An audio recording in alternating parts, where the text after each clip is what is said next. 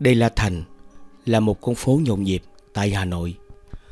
Có không ít lời đồn thổi liên quan đến hồn ma và những nhà trọ ma ám ở đây. Đây là Thành, là tuyến đường giao thông huyết mạch dẫn từ đầu phía ngoại thành vào thẳng trung tâm Hà Nội.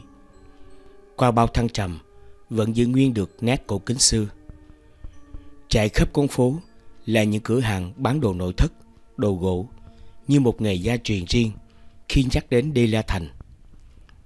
Tuy nhiên, có nhiều người đồn thổi con phố này từ xưa là con đê để ngăn lũ từ sông Hồng. Hàng năm có đến hàng chục, hàng trăm vụ chết đuối, xác trôi dạt vào bờ. Người dân thấy vậy nên thường chôn cất ở quanh đê.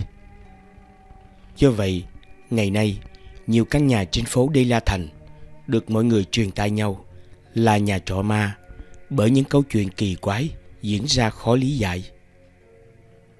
Cách đây hơn 2 năm, vào tháng 6, một nam sinh viên xuống Hà Nội học đã tìm thuê trọ tại căn nhà này. Nằm sâu bên trong con ngõ trên phố Đi La Thành. Căn nhà có tổng cộng 3 tầng. Tầng 1 cho thuê bán hàng ăn. Tầng 2 là nơi ở của ông bà chủ và tầng 3 là phòng cho thuê. Vì đã lâu không có người đến ở, căn phòng tầng 3 khá bừa bộn và có mùi phòng rất khó chịu. Theo lời kể của nam thanh niên sống tại ngôi nhà, anh liên tục gặp những hiện tượng lạ, như tiếng bước chân lên xuống dù cầu thang không có người. Đêm ngủ bị bóng đà, cảm nhận rõ có người đánh vào lòng bàn chân. Trong những giấc mơ, luôn thấy bóng dáng một người đàn ông không rõ mặt.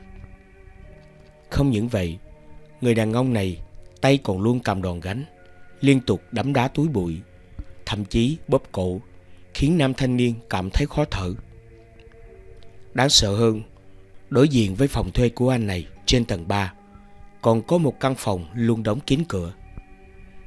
Theo lời ông bà chủ, phòng đó không có người ở và hiện đang dùng làm phòng thờ. Tuy nhiên, một buổi chiều, người thuê nhà nghe có tiếng động rất rõ bên trong căn phòng ấy. Nghi có trộm, anh này lấy hết can đảm để mở cửa thử xem bên trong thế nào. Mở cửa ra, tiếng động ban nãy bỗng nhiên biến mất. Anh lần tìm công tắc điện. Khi mở lên, thấy trên bàn thờ chỉ có duy nhất ảnh của một người con gái. Một chiếc đĩa bày hoa quả và một chiếc khăn màu tím.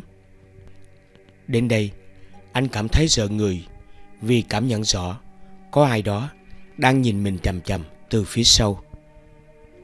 Đến lúc này, anh mới bắt đầu hoảng sợ và trở về phòng trọ của mình.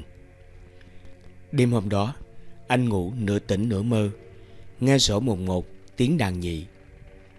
Đỉnh điểm của sự sợ hãi là khi anh nhìn thấy bóng năm người lần lượt bước từ phòng mình ra phía cầu thang.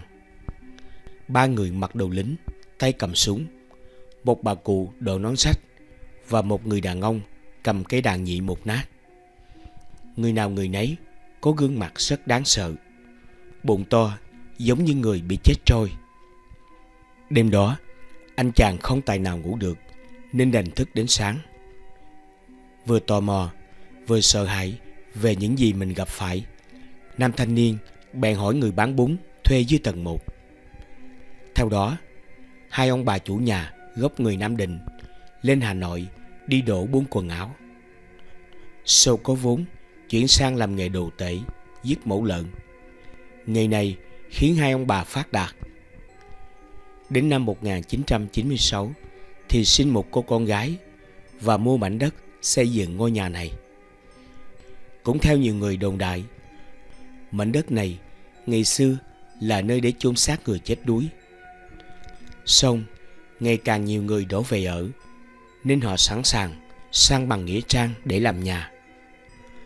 Mọi chuyện vẫn bình thường cho đến khi cô con gái của ông bà chủ bị ốm nặng vào năm 18 tuổi và trở nên điên dại, đầu óc không bình thường. Cô thường ngồi trong phòng, nay là phòng thờ, tự nói chuyện một mình vào ban đêm. Chiếc khăn màu tím trên bàn thờ hiện tại là kỷ vật mà cô gái này giữ khư khư khi còn sống, không cho bất cứ ai động vào. dù đã đi chữa chạy khắp các bệnh viện, nhưng ai cũng đều từ chối trường hợp này. Thậm chí, ông bà chủ cũng tìm đến các thầy bối, tâm linh để làm lễ, nhưng ai cũng lắc đầu bất lực. Vào một ngày, cô gái ấy bất ngờ treo cổ trong phòng. Sáng bà chủ lên đưa đồ ăn, thì thấy con gái đã qua đời. Trên tay cô gái, khi ấy vẫn cầm chiếc khăn màu tím không rời. Nhiều người cho rằng vì ông bà chủ xưa làm nghề đồ tể nên giờ nghiệp vận vào cô con gái. Cũng theo lời người xung quanh kể lại, mảnh đất ở đây rất dữ, ai tới thuê trọ cũng phải chuyển đi ngay ngày hôm sau. Có người còn bỏ hết lại đồ đạc, tháo chạy ngay tức khắc. Hay chính người bán hàng dưới tầng 1 cũng trải nghiệm. Ban ngày bán hàng không sao, nhưng đêm ngủ lại thì thấy một đoàn người đi đi lại lại trong nhà. Ai nấy đều có khuôn mặt dị hợm, bụng to phền. Hôm sau phải cúng lễ cẩn thận mới có thể yên ổn làm ăn. Đêm đó, nam thanh niên thuê nhà vẫn tiếp tục chứng kiến những hiện tượng kỳ quái. Từ gương mặt cô gái trên bàn thờ, một đoàn người đi quanh phòng. Tất cả đều giận dữ, chỉ tay về phía nam thanh niên, khiến anh này sợ hãi. Ngày hôm sau, anh phải lập tức tháo chạy để tìm nơi ở khác. Đây là câu chuyện được chính người trong cuộc kể lại. Xong, vẫn nhiều người bán tính bán nghi, dù không thể khẳng định hay lý giải được những hiện tượng kỳ quái bên trong nhà trọ ma này.